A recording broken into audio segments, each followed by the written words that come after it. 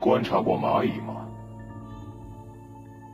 只要用木棍在它周围画个圈，蚂蚁就会被困在其中，很难走出去。找不到出口的蚂蚁，多半会在圆圈之中打转，直到筋疲力竭。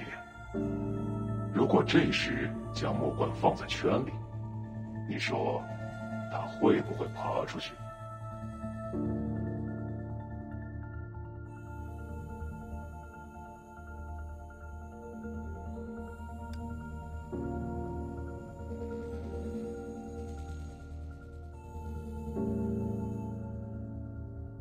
这就是以太起点，看起来也挺普通的，用不着遮遮掩掩。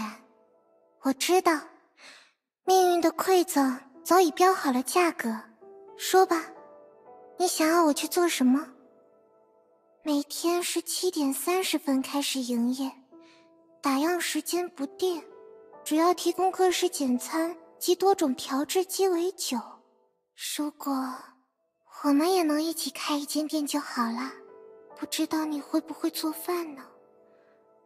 我一直很想尝尝你说过的黑松露巧克力烤牛排。我的话可以帮忙招待客人，姐姐也会经常来店里帮忙。周末打烊的时候，把朋友们都叫过来，一起做很大很大的棉花糖。店里那两个人的关系看起来真好呀，我都有点不想打断他们的谈话了。你好，现在可以点餐吗？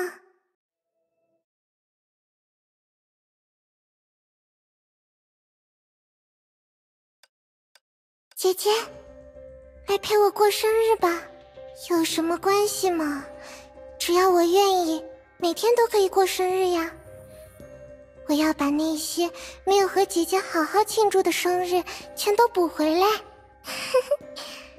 一起吹蜡烛吧，然后许下愿望。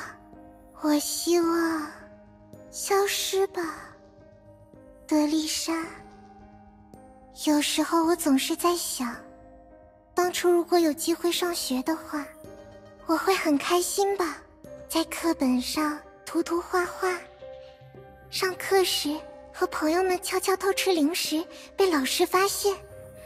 放学后一起出去玩，分别时约好了明天再见。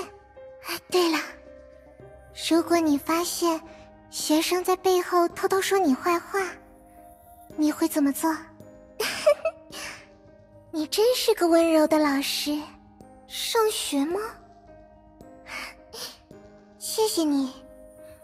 像我这样的人，早已经没有机会体验了呀。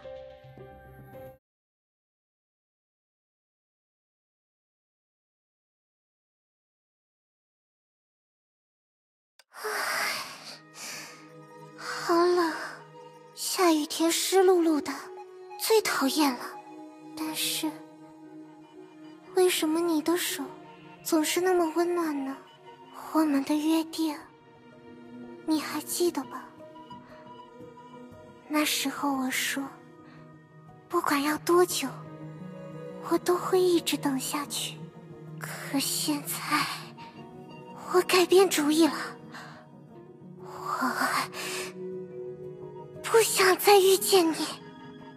这种鬼地方可真够破的，怎么连个天花板都没有？你不冷吗？如果下雨的话，你会被淋湿吧？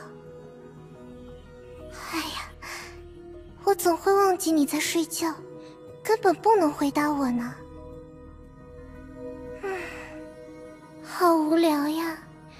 姐姐又去工作了。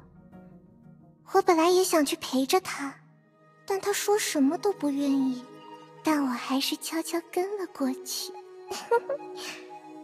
然后你猜，我发现了什么？对了，姐姐一直都在骗我，我完全想不明白。明明说好了要帮我到最后，哼！但是没关系，我一点都不生气。就算只有我一个人，也能做得到。反正我一直都是一个人。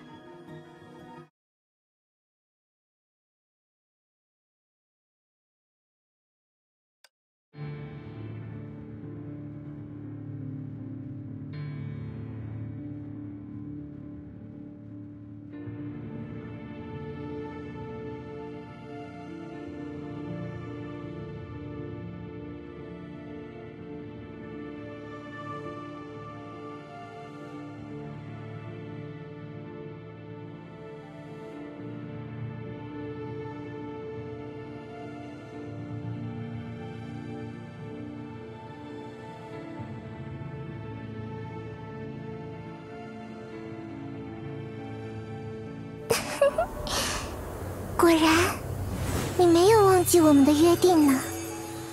但是，抱歉呀，我可能没法遵守和你的约定了。